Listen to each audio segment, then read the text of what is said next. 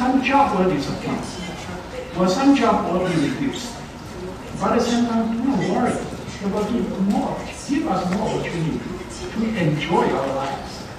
For example, at the beginning of Industrial Revolution, almost everyone worked seven days a week, and again, 12 hours a day. Now, people only work five days a week, eight hours a week, a week, a day.